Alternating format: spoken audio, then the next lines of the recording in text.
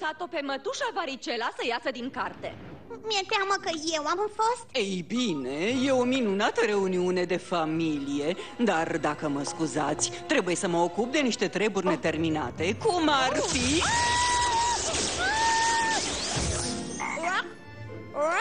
Mă bucur să văd că și după o mie de ani sunt tot în formă.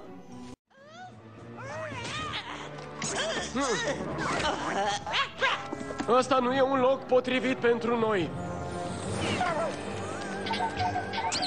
Hei! Așteptați-mă!